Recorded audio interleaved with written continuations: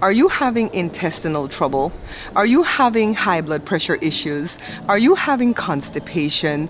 My God, Joe, this video is not gonna be monetized by YouTube. Why? You're watching the Bare Pantry Show. Because it's all about health issues and Yeah, they you're not- the AI listens to all of that and say that you're dispensing advice, which we're not. We're not dispensing medical advice, right? Say that please. We're not expense, ex, Dispensing. we're not dispensing medical advice. We just want to share with you. Is this thing okay, Joe? Does it look like it needs to be cleaned, the lens? We just want to share with you guys some issues that Joe was dealing with. Right, Boo? Right. All right, so a month ago, Joe went to the doctor because he was having really bad sinus related issues. He suffers from this. A lot of his family members suffers from sinus related issues too. So they took his blood pressure, of course, and it was high. It was like 143, I think. I wish I had written down the number somewhere. I'll cut away to it. 143 over like 90 something? Shoot, I should have. Do, do I have that written down somewhere? Wait, maybe I have it on my phone. So, um, tell him what the doctor said when your blood pressure was high like that, Joe, while I look for it. 141 over 93. Ah, go me, go me. June the 28th. The doctor didn't think that your blood pressure was that high for real, for real. She thought that maybe um, the pain that you were in caused it to be a little bit elevated. But even so, he, she wanted him to monitor it for the next month, well, for two months. And then uh, he, she would bring him back in and see what was going on to see if he needed to go on blood pressure meds.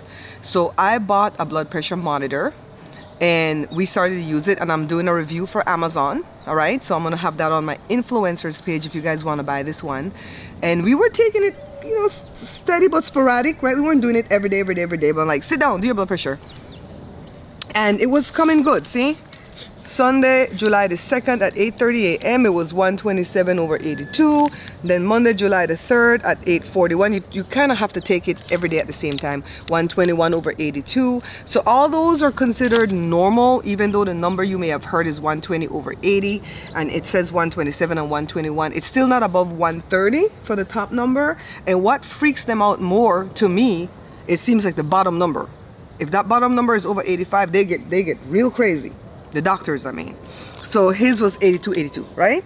And then we skipped a few days. Then Friday, July the 7th, it was at 9.15 in the morning because we had kind of forgotten. It was 124 over 81. So you see that bottom number coming on, right, boo? And then um, uh, July the 10th was the last time I took it at home and it was 128 over 84, right? Right. right? All right, so it is coming down to more. I want, I want that 80 something, 81, 82, 85. I want that number to be under 80 for me, for me, right? For me to feel happy. So Joe didn't have a whole lot to change in the way of his eating, right? Because you weren't overeating salt, right? Maybe he was overeating some carbs because he likes his grill bun and his powder bun, right? Oh, by the way, guys, I'm Barbara and this is Joe. Welcome to the channel if you're new. My mission in life is to teach people how to cook. Why? Because I believe if you know how to cook, you'll change your wealth and your health. Your wealth because you're going to save money because you're buying stuff to cook at home so you get more already out of the money. And then your health because you can, you know, put what you want to put in your own food and not have to depend on people out there in the street cooking. They put too much salt, too much sugar, too much fat, too much everything. MSG. So we didn't have a lot to change in the way of eating, except I think I added more vegetables to his diet, right? And he added back in his sorrel. Joe, say the word? I said sorrel, but everybody say I'm saying it wrong. Cheryl. you don't know either. Uh, um, Mexican people call it Jamaica, and it's spelled like Jamaica, right? But Caribbean people say sorrel, sorrel. I don't know. Cheryl. You I guys, call- it is. See I what it right here? I call it sorrel. He says sorrel. He say totally wrong. so, anyways, he went and bought it at the store. Before the pandemic, they used to sell it by the pound, right? And you would shovel it out of that big barrel in the stores. And it's kind of pricey per pound, but you get a lot because it's super light, right? It's the hibiscus. So uh, since the pandemic, they package it off in a bag. Thank you, Jesus. I don't like them things in them barrel, you know, Joe. You go and you find them Mexican sugar and stuff and the cinnamon and stuff. I don't, I don't buy them thing. Mm-mm. And the bolillos, the bread, no, I ain't do that in that thing, get the tongs. No, anybody could do so. That's the tongues. Put the tongues on it. so, anyways, he started to do it since the end of last month. Today is actually today is August the first that I'm taping this. July ended. Yes, Leo season started. Well, it started a while back, but my birthday is in 13 days. What is we gonna do? Boo! You have a birthday? My grandpa used to like to ask me that. You have a birthday? I'm like, yes, grandpa. Everybody has a birthday if they're to like born. and he goes, I thought you were hatched. Uh, Huh? I Yeah, but these people like tell you, I thought you were hatched, like the like the rooster over there. so, anyways, he bought it. Tell tell him how you make it, Joe. You put a couple. Well, you boil the water first. Boil the water. You can sieve the water. I mean, you don't have to boil it if you just get it. But I boil You, it. uh, but it's not gonna work if you get the water hot from the faucet, right? It's better if you boil it. better if you boil it. Okay, so he boils the water in a little pot and then shuts it off. Then he puts like two to three handfuls. Correct me when I'm wrong. I put two big handfuls. Uh, look how big his hand big. See? Look, put it. His hand way bigger than mine's. So if you're a girl like me with small hands, three handful. Man like Joe, two big handful. And he puts it in the hot water and sometimes he will grate some ginger in it for flavor because he's not gonna add any sugar because he don't want to get diabetes, right? and he'll let it steep at least one hour but honestly honestly honestly don't tell nobody because they're gonna watch the old videos and not this one because we're doing new videos now right we're into lifestyle and cooking so he lets it steep overnight shh don't tell the others i know they're not watching the I'm to videos get, I'm trying to get everything out of it. That's why I just let it steep for overnight and Mm-hmm. make sure I get everything out of it. the next day do you put it through a cheesecloth or through a strainer I just use a strainer. just a regular fine mesh strainer Because and uh, he puts it through it This huh? stuff don't have a lot of grounds on it. Nothing. okay so it's not fine and, and groundsy is that a word groundsy I don't know. Okay, we just made it a word. So, anyways, he strains it, he puts it in beautiful bottles. This time he put it in the Manischewitz wine bottle. Everybody thought we had wine. so we have wine. So he put it in the in pretty bottles and he puts it in the fridge. And then every day, is it twice a day or once a day? Well, once a day. Once a day in the morning, he'll drink what? Eight ounces? I guess I just take. I, I see when he pours it in a glass, it looks like a good eight ounces. And he drinks it till it's done. And the amount that he makes will last him about a week. And then normally he takes a week off from not doing it. And then he'll mix it up again and he'll go another week. So within the month, he does it two two weeks out of the month. Right? Yeah, he, he wasn't doing it for a while. So that's why I'm like, go back to your thing, go back to your thing. Sometimes So- I just leave it alone for another good three months or so. Then I go back mm-hmm. again. But now you're gonna stay on it. Yeah. Why? Because I went to go do some investigation. I have the computer right here, and I said, "What is sorrel good for?" I didn't know that Google's was gonna know what sorrel was. I thought it was gonna say, "What is that?" Right? It says it improved digestion. Sorrel is a good source of fiber.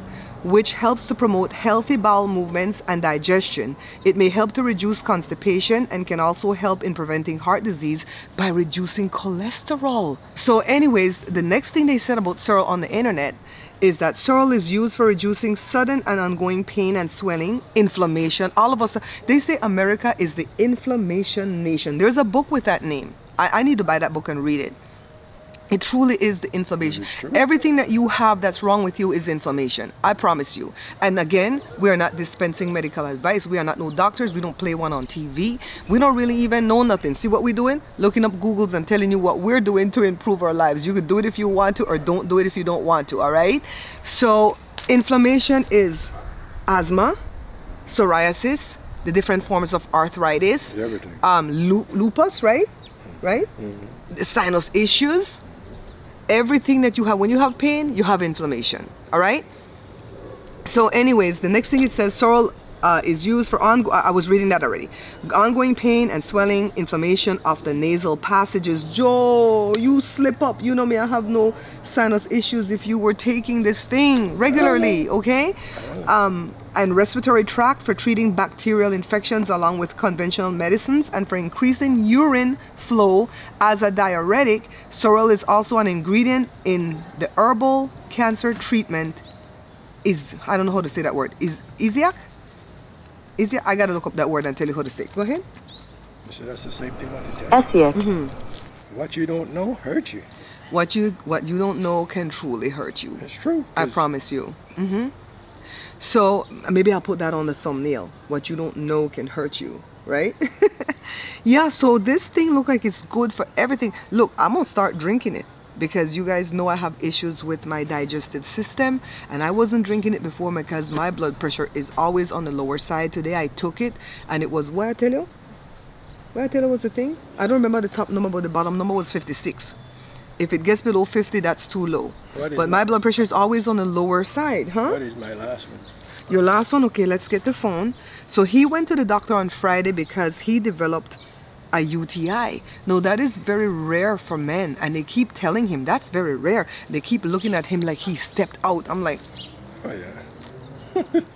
so, anyways, they're thinking that he passed a very small kidney stone, like a, a gravel sized piece of kidney stone, and it gave him a bladder infection. You know, so he got sick. Well, Thursday I noticed that he slept longer than usual because when he has his sinus issues, he'll put his little warm mask on and he'll sleep for like, well, not really sleep, shut your eye for like 45 minutes and then get up and he's gone again. He's like the Energizer Bunny, right? Well, that day he slept three hours and I kept waking him like, hey, hey, are you okay? Why are you sleeping? Why are you sleeping? He didn't have any fever or anything, but the next day, Friday, he woke up with the burning and it burns, burns, burns, the ring of fire. These kids are trifling. My kids are awful. They were singing that song. Ron was like, why is it burning? And so I saw that he had a, a low grade temperature, so I took him to the doctor. They sent us to an off site clinic in the Target Center because we're Kaiser members. And it was nice over there, but them two were kind of like frick and frack. The person who uh, tend to us at the front desk, I don't know if he was a nurse, but the person who tend to you in the back, the lady was an, an NP, a nurse's practitioner. And I usually like nurses practitioners and physician's assistant because they usually try to give you a lot of information that the doctors don't got time to give you, right? But um, they tested him they saw that he had an infection and they know that it was a bacterial infection but when they test you like that i guess they look for certain things and what they saw was uh, white blood cells which tells there's an infection blood and um, something called it spelled like it's spelled like nitrates but i think they say nitrates Jermaine, correct me if I'm saying it wrong. And that usually tells them you have a bacteria, right? You have a bacterial infection. Then they have to grow the culture to see which one it is so that they can know that they're giving you the right antibiotic. So at that point they're not gonna send him to get send him home to get sicker. So they gave him an antibiotic to take. And I'll I'll put the name down below because I don't remember the name right now. Maybe I have it here, I don't know. I, I don't want to go look in the phone again. Anyways, um, that one is specifically for UTIs and bladder infections and so on. And you take it twice a day, morning and night. And he started taking it Friday evening. But then the fevers became roasting to the point that he had to go get in cold showers.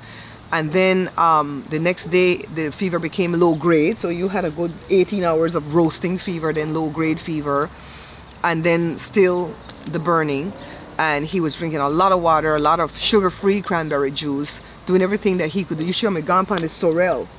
Nah, that's We didn't know. I'll tell you what you don't know hurt you. So, anyways, yesterday I took him back. So Friday when he went to the doctor, let me tell you his. Um, I'm gonna I'm gonna cut away too and show you. Because I don't want to put too much of his information out here, so I have to make sure I block off things. So it says his blood pressure was 126 over 85, which they said was good. I tell you that 85 is that magic number for them for the bottom number. His weight was 183 pounds. His temp was 99.2. His BMI was 27.86. His height, well, height not going to change, 5'8". And his pulse was 88 and his oxygen was good at 100%. So then I took him back in yesterday because he said he doesn't feel like he's getting any better and he wanted to see if there was a different antibiotic they could give him or maybe something stronger for the pain than what he was taking which was azo. You know that over-the-counter thing from walmart but we got the generic brand. We didn't get the azo azo brand. So let me read you his vitals from yesterday. Blood pressure listen to this. Listen listen listen listen linda. Blood pressure is 113 over 77 boy the way you made it do what you blame it on Not eating and just drinking. Oh my God, not eating. the not eating, the weight gone from Friday the 28th of July to uh, yesterday, July 31st, from 183 to 175. Now that is truly from not eating. Child, this man, I knew, I'm like, eat something. I was like making him everything. I'm telling you, I'm exhausted. I'm exhausted while I'm making this video, but I'm praising God, Joe. Folks, the minute I, I get sick, I don't have no appetite. I don't know why, but any anytime I get sick, But boo, when I get sick, I don't have no appetite either. But I gain five pounds when I'm sick. How do you lose eight pounds in two, three days? You sickening. this is not the way you want to do it. But honestly, to lose weight, I believe it all hinges around cutting your calories. So we took a quick break to go change out the battery on the camera and that gave me an opportunity to get the sorrel and my sunglasses. Joe, how are you sitting there without your sunglasses, babe? it's on, my eyes. Look, So Joe used my four quart pot and he got enough to fill this bottle, full this bottle. See, it's done. He already drank this one. And he said uh, two cups of the measuring cup. That's what he got out of it. So look, oh, this bottle's so pretty. It says Joe cold drink. Oh, it has his name on it. Look, somebody gave this to him. So what I want to do is taste it. Joe already drank his this morning, but I wanted to taste it because I think I only tasted this thing once. It's really not my cup of tea. don't put too much. Don't put too much. But now that I've learned how important it is, I'm gonna really start drinking it, okay? Joe says he does go to the bathroom frequently when he drinks it, right? Let's pose, let's pose with it. Come on, lean forward, let's pose for my thumbnail. Let me see what's going Ready? What kind of pose you put back there? Let's taste. Well, should I glug or should I sip? Sip it and Sip and it. see. Okay. It want to taste like Ribena, but Ribena has sugar in it. I mean, you can put sugar in if you want. to. But why? You're gonna like get diabetes after that. It's not. It tastes kind of um berry-ish, berry-ish, like the way how cranberry juice tastes without the sugar, like that kind of way.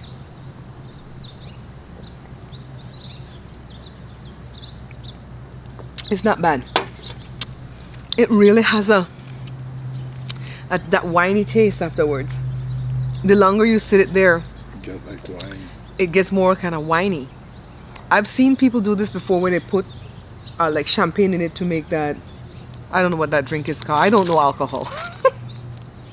Whatever drink you do with some type of orange juice and You can put champagne. sugar in that. Remember the last one that Positive gave us? I wouldn't want to put the sugar in it though because I want to drink it often and I don't want to add back sugar to my diet. We already have enough sugar in our diets. So this thing is good. This video could have gone all over the place, but I decided to go ahead and stick with this topic, the um, the sorrel. Okay, so we always knew that it brought your blood pressure down, but now I learned today that it does so much more so much more for health issues. And so because I don't like to do anything daily I'm gonna do this where I do it like Joe drink it the week. Joe's drinking it pause a week drink it again. So in the month we've had it two weeks out of the month. You saw I had receipts inside. You saw where his blood pressure was that one day which I think it was a little bit elevated because he was in pain but still it was pretty close to the border. And you saw where it was yesterday when he went back. I'm you know I'm not glad that he's sick but I'm glad we had reasons to go back to the doctor so that we can have this evidence. So you can do what you want to do. Like I said we are not trying to push anything on you because there's still things that we are learning. But here you have it right some data some data. Anyways thank you guys so much for watching this video. Please like if you've liked it. Share it out for me because that's how we get out there into the algorithm. I'm enjoying doing my, lifestyle type videos like this with joe or even when joe can't be in them sometimes. And we will see you guys in the next video. Au revoir. With my hands lifted high prayer. yeah yes yes yes sing it baby I- I- with a heart of thanksgiving,